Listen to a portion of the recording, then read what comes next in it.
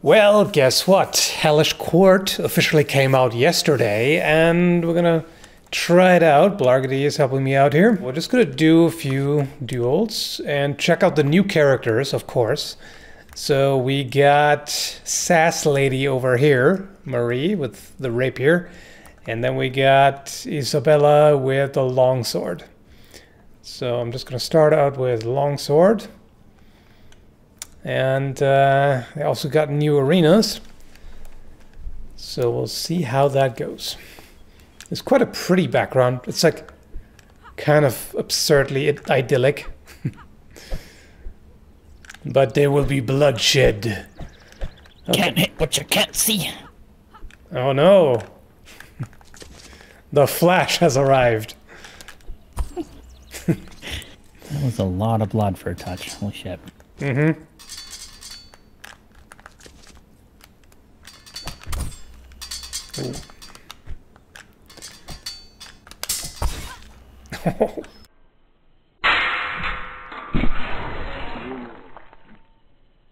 That's a proper fort cut right there. Yep. Synchronized fighting. Oh yeah, there's a shield how. That's pretty good. what? I'm I not sure how that connected, nothing. but I literally did nothing.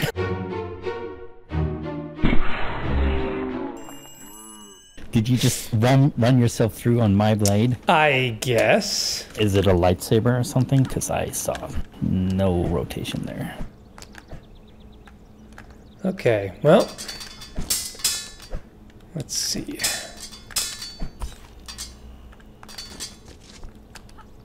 Of course, positioning is really important with this. If I, if I can get on his side, I, I have a much better chance of actually landing a cut. But Problem is, in the process of sidestepping, they don't defend. Normally, if you don't do anything, if you don't move, they auto-defend. So if I just stand here and don't do anything, she should defend against anything other than the the hand-to-hand -hand close quarter attack. Like that. That breaks the guard, but otherwise, she does defend. It's very particular about if your swords are in the right position. Yeah. In real life, you just put it in the right position, but you have to kind of see if they already are or something. Yeah, the, the problem here, of course, is that I definitely appreciate the complexity in simulating the blade interaction and all that. The only problem, of course, is with the controller, you don't get the information that you get in real life. You don't feel anything. You don't feel the bind, and it's kind of makes it a little bit difficult. But at the same time, you know, they do defend by themselves, so you don't have to worry about that. It's basically a matter of the correct timing, the right angle, and choosing the right attack. You know, like most fighting games, but the dynamics here are quite a bit different. Because, for one, there's no health, so minor cuts will not really do much of anything. They, they draw blood, but they don't seem to really affect them negatively. Um, powerful cuts ended immediately. It's kind of strange how few downward cuts there seem to be. I mean, here's one. Uh, then we've got uh, we've got this and this, and that seems to be about it. Hmm. Oh, there goes the hand.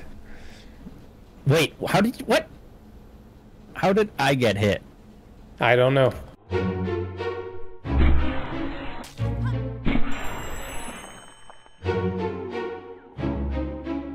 Pretty sure an arm cut would leave me ahead of an hand off. You'd think. Okay. Yeah, it's I think unless you have a lot of experience with the game, I don't think you'll be able to really intercept cuts with any kind of regularity because this is it's so hard to time it correctly. I think you're generally, at least in the beginning, better off just defending and then countering. Should we keep trying or you know? yeah, we can continue this round and then maybe go to rapier. Okay.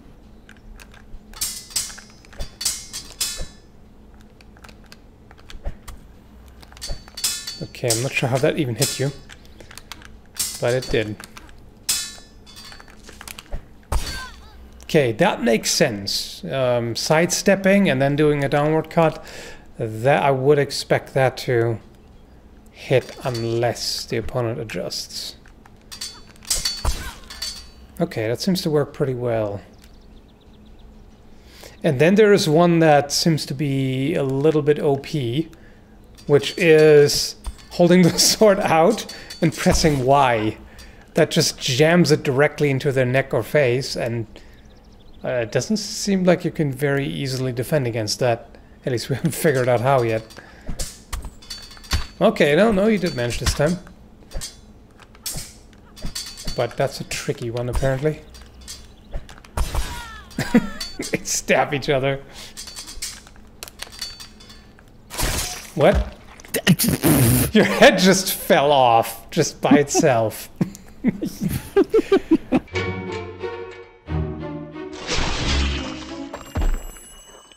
okay, so rapier is pretty neat. I definitely recognize the stance overall. So we got. Uh huh. There's a lunge. Then we've got cuts which have to be ran right into that one. You know, Which with the rapier, of course, have to be very My jab was done, and then you moved into it and died. right. So hits are a bit jank. So I like the way the way the the rapier is used with wide sweeping cuts. That makes a lot of sense because that's pretty much what you need for such a narrow light blade. So, except this, I don't know what what the hell this is supposed to be. I think this is just to knock the blade aside. I'm assuming because this is not How really much of a one cut. I don't Okay. remember how to do that one. Um, And I like this one that she does, but she sidesteps and cuts at the same time. We've got the incartata here, which is uh, the sidestep with a thrust. So you're evading a straight thrust and getting a better angle. So that's neat. Definitely recognize those techniques. I think they did a better job with the rapier animations than with the longsword, interestingly. I noticed that the hands seem a lot less jank on this Yeah. one. In the longsword, she was clipping into her own hands and I think that's just a problem. wrist angles. Yeah, I think it's just a problem of having two hands on the same object. That creates some issues. Here, the two hands don't really interact, so it's not as janky. that was interesting.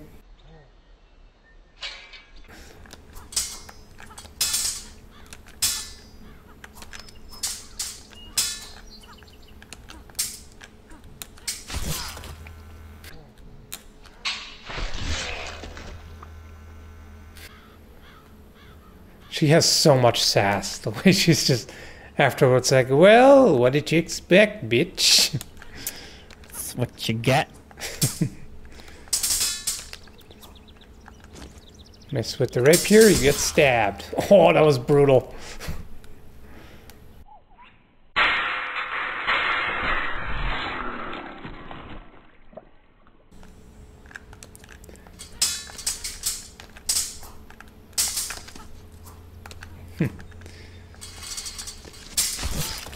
Oh, nice.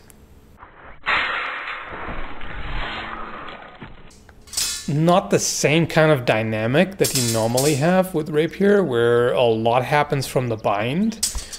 Um, it's just a little difficult to to really do here because in order to do rapier techniques from the bind, you need to be able to feel the blade. You need to be able to uh, tell where the pressure is going. You need to be able to push it over to the side. Those are all things that you really can't do here. Right. But considering the limitations of simulating sword fighting, I think they did quite a good job with that.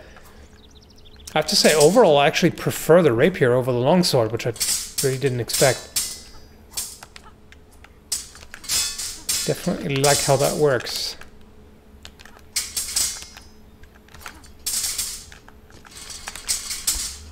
So angle, I said, is quite important here. Like, uh, if you stand, don't do anything. So depending on how we're aligned, and you can tell that they actually try to disengage and gain on the opponent's blade. In fact, that's what they keep doing if you don't do anything, which makes a lot of sense because you want you want your opponent's sword to be on the outside basically. You want to dominate the inside line so you can mm. just thrust and have the opponent's blade on the outside where they can threaten you, where if they were to thrust or lunge, their point would go past you because it's already offline. It's already away from the center. So that is pretty neat. So this is hmm. one of those things where you, if you get good at the game, you can do a lot of shenanigans. I bet. Or with right with proper positioning, you can really gain an advantage. So that seems to work very well with the rapiers. Longsword versus rapier.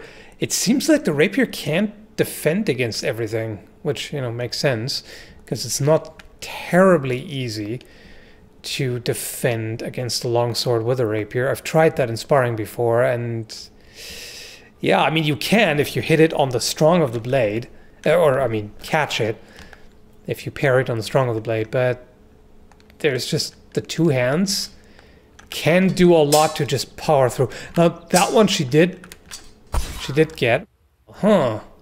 I'm not sure what changed there. I don't think The really... hand was moving more and more to the middle for me. But Right. The first one left. Oh, damn. Sorry.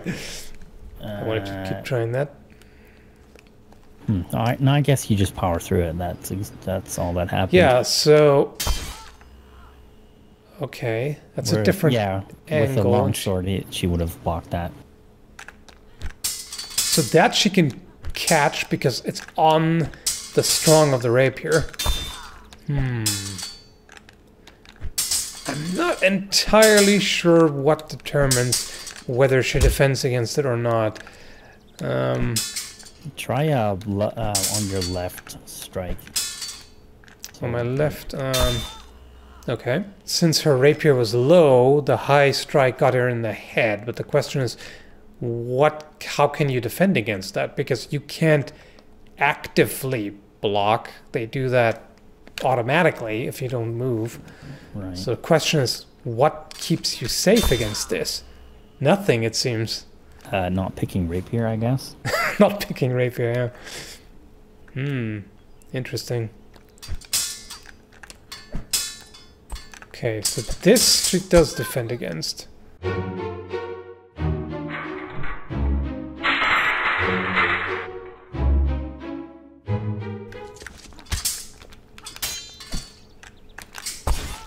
Hmm. Sometimes it's just timing. If, you know, pretty much at the same time that the opponent starts, you already are halfway through a cut, then you'll probably get it.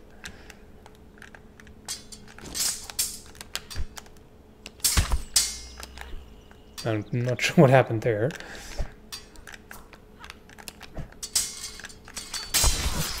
Oh,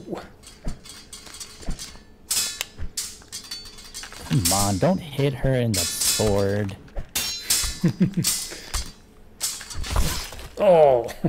This is actually kind of appropriate that there's a lot of doubles because that's sort of the problem of longsword versus rapier. It's extremely dangerous for both because both are can very easily be injured. You know, the rapier can thrust at any time, which is really hard to see and defend against, and the, the longsword can just sometimes just blow straight through the defense and just cut you anyway. So, yeah, that's actually kind of appropriate.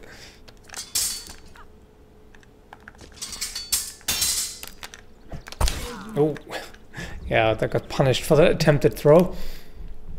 I really like her grapple, though. There we go. That's nice. I'm pretty sure I've practiced that exact grapple before in Rapier class. So it's pretty Hmm. neat to see. Yeah, sometimes you can get like little, little rapier thrusts off. Yeah, but that's just not deep enough to kill. It will not kill. Oh, yeah, that attempt at Incartata was brutally punished.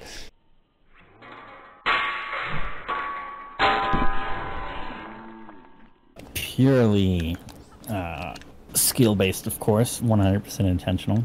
Yes, of course.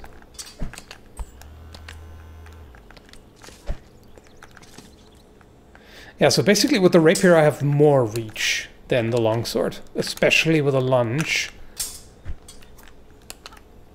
Like this, that's a lot of reach. So I can kind of stay back and every now and then poke. Which is uh, definitely appropriate against the longsword. Would not want to just face that head on. Come on, what the Hmm. Yep. It's like once the longsword gets close enough, you're kind of screwed. Unless you can grapple. Oh, nice.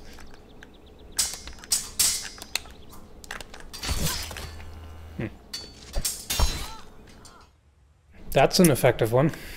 Uh, yes. So it turns out only time I can beat you is uh, either you don't do anything or I use longsword against rapier.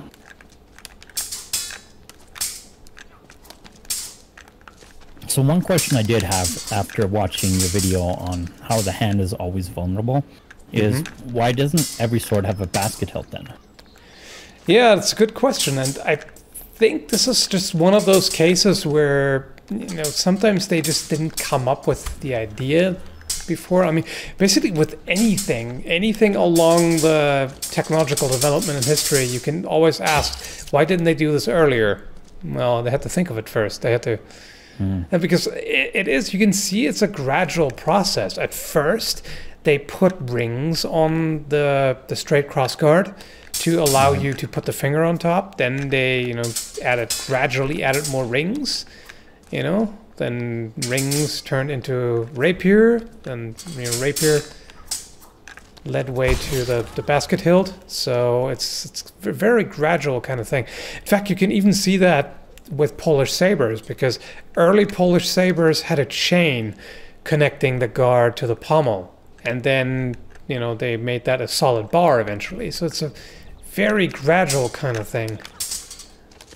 I'm assuming they didn't see the need for it before. Maybe they, they just thought, well, if you get your hand cut, you're unskilled or whatever. But eventually, they just maybe just thought, okay, probably a good idea to have that extra safety of, of, a, of a better protect, more protective hilt. Right. That's what I'm thinking. I guess it's the same thing as uh, what I was thinking about. Why didn't they always have muzzle brakes on Right. guns? Yeah. Every gun nowadays has a muzzle brake, and you can basically negate all recoil and muzzle kick on any Yeah. gun with a proper muzzle brake. And you think, oh, why didn't they just port the barrels on the top on the um, Henry lever action rifles, for example? Uh, they just never thought of it. Yeah. Sometimes that's all it is. In hindsight, it seems obvious, but until then, it's also, of course, there's um, if, if if it's a type of sword that you normally use with a shield, you don't necessarily even think about it. It's like, well, the shield is there to protect your hand, whereas later swords that are were designed to be used just without anything, just empty offhand, makes a lot more sense. And for hmm. example, Viking swords definitely would not have needed a complex hilt because you have a large shield to work with. I also wonder how much his robe and the little weird tentacles he's got on his back would interfere with fighting. Yeah. Oh, my scarf is fabulous, bitch. At first, I thought it was the sleeves that he slipped out of, but that's way too long for that. Mm -hmm. It's just a superhero cape.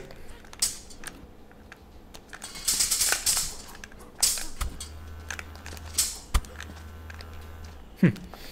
Yeah, cut to the arm with a rapier. That can be a fight ender if done well. Like, how can you prefer medieval outfits over Renaissance? They're just objectively inferior.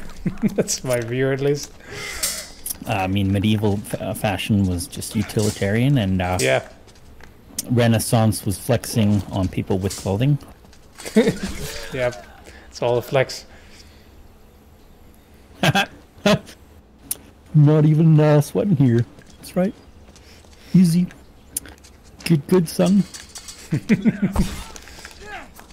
On this one, it's a little bit more morbid how she turns to the corpses and like, yep, see that?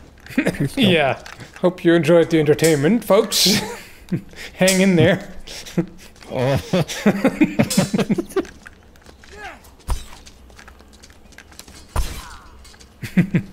Yeah, th- that's something that works really well. Whenever you time as they rush in and you cut, that's usually insta death. Hmm. And that was just angle. All right, I think that's enough. I'm gonna have plenty to edit anyway, so um, yeah, I'll leave the link down below if you wanna check out the game. And hope you enjoyed it. Thanks for watching.